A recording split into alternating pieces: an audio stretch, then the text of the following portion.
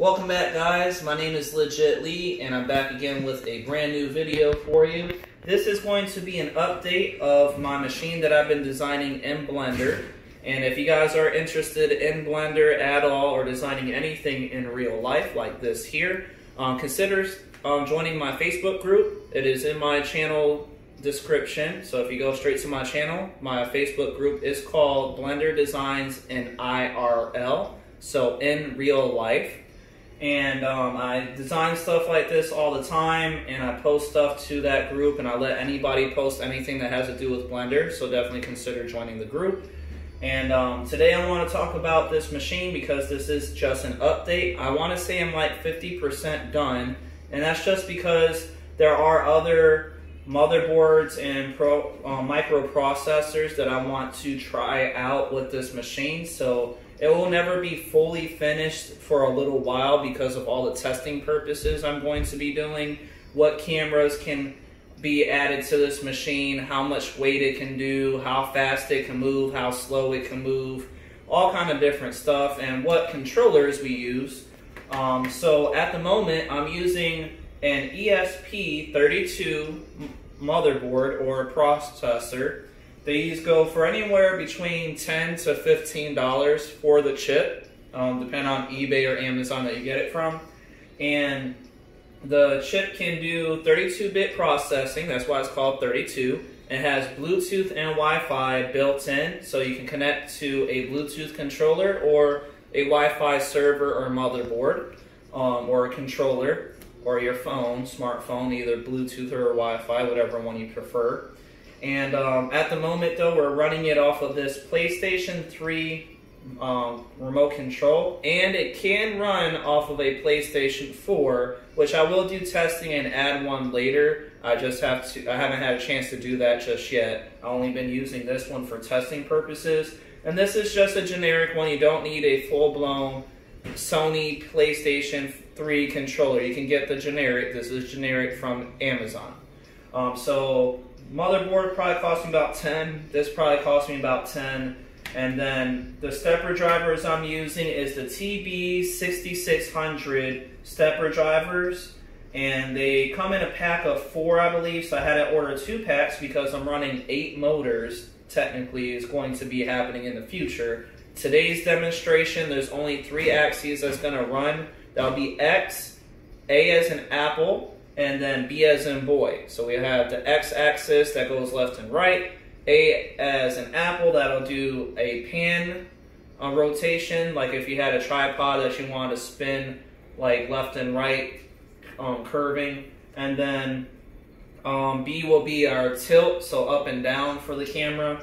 Um, I don't have the camera stuff mounted just yet. I just want to show you that the axes do work with this controller. That's my demonstration for today. And what I'm using here in, in a general basis sense. So I have a 24 volt power supply. You can buy these pretty cheaply, around 50 to 80 dollars on Amazon or eBay. I would stick with a Mean Well because they're really well suited for stuff like this.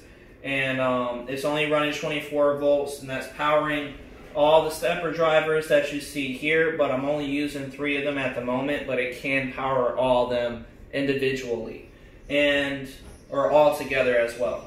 And then we have a power bank. Now I will be adding a small little adjustable power supply that will be running off of this power supply to power the ESP, but right now I'm just using this power bank for testing purposes. So what I'm doing is I'm just turn this power supply on and I plug it into the USB type B port using this connector, this power cord or USB um, cord and I plug it in. You can see now it has a red light on. That means it is powered on, and you can see on my um, battery bank that it's at 96%. This thing hardly uses any power to run this whole machine. I can run, I'm pretty sure I can run this machine for days on end without any problems with it sucking any power really out of this power bank. So the, that's what I like about this controller because it's only using the signal information to move the motors. So it's not going to use a whole lot of power to do stuff like that. And then it's using low energy Bluetooth connectivity, so again, less power. So that will be pretty good if you're trying to use this type of setup for a robot, for instance, that's driving a car or anything like that, uh, like RC car or a robotic version of this that has wheels. So that's why I wanted to mention that you can run this all off of a power supply here. Anyway, um, so now that we have the ESP32 on, all I have to do is press the home button or this circle button that has no home button look on there. Um, if I press the home button, you can see that the lights are flashing. And once they start rapid flashing, like this right here, that means it's connect, it, connected. It looks like it's fully on, but it's very small pulses of the light going on and off that you can barely, you may not even be able to see it on this video, but they're very, very fast pulsing. Anyway, now that it's connected, the only thing I want to do now is flip the power supply on to give the stepper drivers power. So now that we have that, I have my X linked to the joystick for X and um, for left and right. So if I move over to the right, it'll move to the right. And if I want to move to the left, it'll move to the left. So if I move all the way, I want to just move it towards the middle so you guys can see pretty clearly that everything is working just fine. It is a little noisy, and that's just because the stepper drivers don't have like silent pulsing. And plus, it doesn't have any weight on it. The more weight this machine has, the quieter it will be because there's more tension on the motors, so it won't have it will have less vibration because the machine will be more rigid at that point. Anyway, the machine can move flawlessly with the controller, so if I like jerk it around really quick, it's pretty responsive. And so with that being said, it can move all the way on the X, all the way back and front, um, back and forth without any issues. It's not counting the movement information. That's one of the reasons why I want to try out different um, motherboards and things of that nature. Now, the, I can get it to program that, and I have been trying to develop something like that with a another person that I've hired off of a website for freelance work called Fiverr. So um, I will be getting with him more on stuff like that. But for right now, this is where I'm at. And um, so we have the X. Now for the A axis, at the moment, I have it connected to the X button and the square. Now the reason why I have it to, for two different buttons is for clockwise and counterclockwise. So if I hit X, that moves counterclockwise.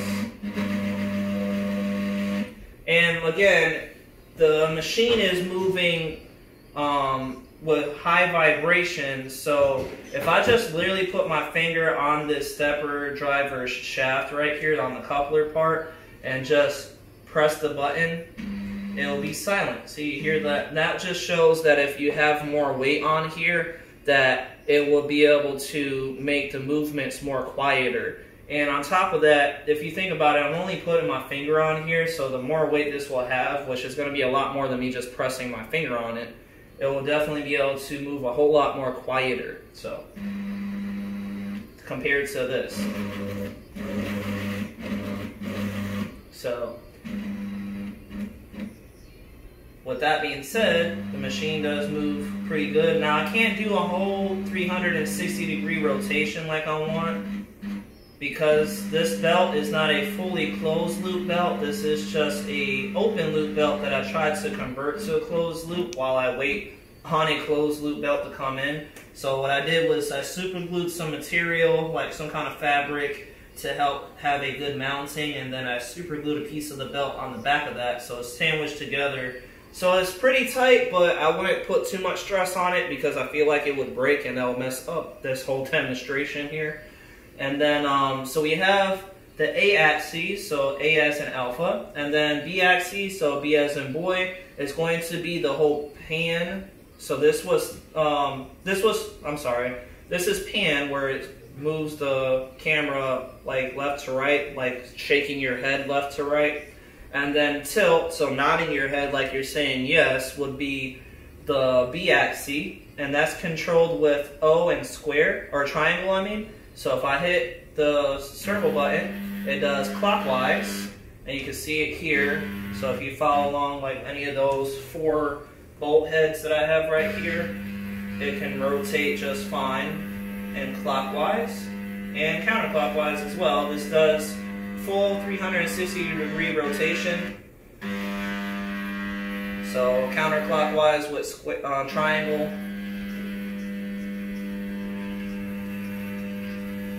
So that will be your whole pan and tilt, which you're only really going to be using maybe 270 degrees for like a tilt, depending on what your tilt, why, why you would tilt that way is completely up to you. But you do, you can do 360, no problem. It's just you probably won't really be going flipping your camera around like if you're trying to flip over your whole body or something. So um, it, you have that ability, but I'm not honestly. I don't think I'm ever going to go past like 270 to 240 degrees because if you're tilting your head up and down, then you're only going to be using probably like a good 90 to 100 degrees maybe or something. I don't really know. I don't know the exact terminology or measurement information and degrees between pan and tilt head stuff, but all I know is you're not really going to flip your whole camera around, so doing 360 degrees is kind of pointless, but you have it if you want it.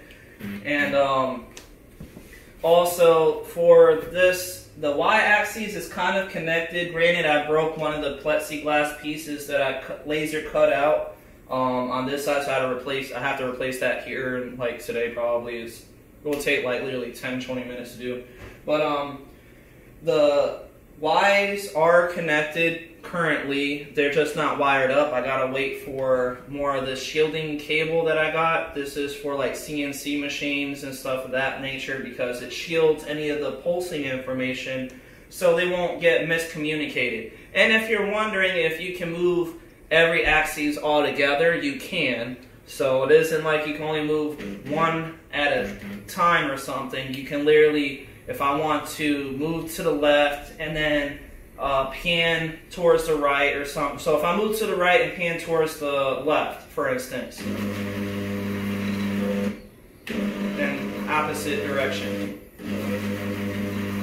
Or if you want to do, you know, rotate B axis or tilt and this one, or if you need to do all three, for instance, uh, let's see, that, yeah, yeah, okay. So if I do all three, for instance, hit this button, this button, this button, so left, right, then we would do um, clock, counterclockwise on the A axis for tilt, and then clockwise for the, um, so for pan, we're on clock, counterclockwise, and for tilt, we'll be on clockwise, and then for X, we'll be moving over to the right. So if I just click all three, that was kind of locked in, okay? Okay, so if I go backwards,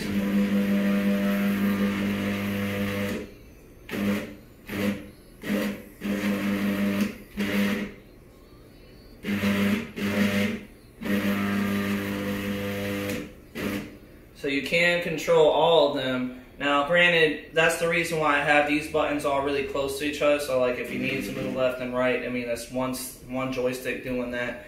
And then I'm pretty sure I'm going to wind up mapping out um, the whole pan thing to this joystick. I just didn't do it just yet. I just want to show you that all the buttons work. All of them do, matter of fact. So this will be clockwise and counterclockwise of another axis, and counterclockwise, clockwise for another axis so these two are linked together for one motor. These two are linked together. These two, these two, this one, that one, this one, that one. So left, right is uh, another motor. Up, down is another motor for both joysticks. Same thing with these. These are linked left and right. Up and down links another motor. So that way you will have eight motors. So one, two, three, four, five, uh, five, six, seven, eight, nine, ten. So really, you can have ten motors. But I'm pretty sure I'm only using like eight because I only have eight steppers. But either way, you can do it that way. So I just want to show you guys that you can run the whole entire machine using this one controller and you know just having to multi-press the, all the buttons. So Like if I needed to do it that way, it can do it with any without any issues. Is what I'm trying to say. Um, like I mentioned though, I will be doing more um, videos and updates of the system because I want to make sure that uh, I do testing. I want to see what really works the best for all this. And if you guys are interested in designing or wanted me to make one of these types for you, it will be a little, I want to say pricey. It just will take a little while because obviously I'm still working on it myself.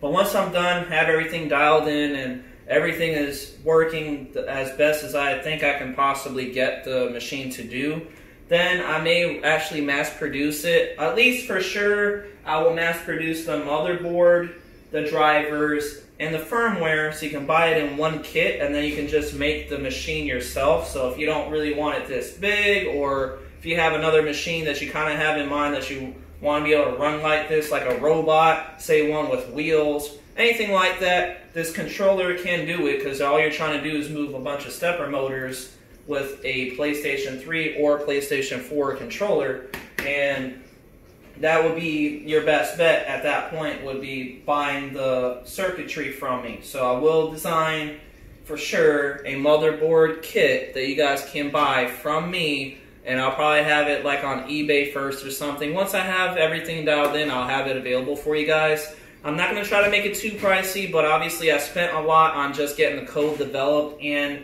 the, you know, generic stuff here already bought from me. So it cost me a good little penny. I want to say I'm roughly like close to $200 for the code and the materials and everything for just the controller. That doesn't include stepper motors, wiring, the V wheels, the screws, the extrusions, none of that. Just only the controller, the drivers, and the remote control. So literally that's around like $200 with the code involved and everything. So if you guys are interested and you are really wanting me to make that kit, let me know down in the comments down below. Because I don't want you guys to, um, like, I don't want to make it yet, and then you guys, you know, aren't interested, and then here I am making motherboards that nobody's ever to buy. I feel like this will be something somebody will like to own, like at least the motherboard portion, so they can make their own version of like a control robot thing. But I don't know that for sure because I'm not like everybody else. I hope somebody would want it, but we don't know. I don't know that until somebody asks us for it. So if you guys want to have a kit like this, just comment down below and let me know. Then I can make it for you guys. and You guys can buy it from me specifically. And obviously, I'm going to test it and make sure it works on my machine. I uh, hope you guys liked the video. Please like, share, subscribe, and hit that notification bell whenever you do get, uh, whenever I do have another video for you, you guys will be notified because there is going to be lots of updates, lots of tests, and I'm pretty sure you guys are going to enjoy it. I'll try to make it as fun as I can. I know that this video footage isn't the best considering that I have a Sony camera. I'm recording this video on my phone, but these little updates is just that, an update, so that's why I'm not trying to make them the best. But when I do test the camera out, you will see the best footage using my Sony a7 III camera. So I will for sure have good cinema quality type videos when I'm testing out the camera controller. Just for stuff like this, I will update just using like a smartphone recording the video and straight uploading it to YouTube so you guys can view it and follow my progress. I hope you guys have a great day. My name is Legit Lee and I will see you in the next video.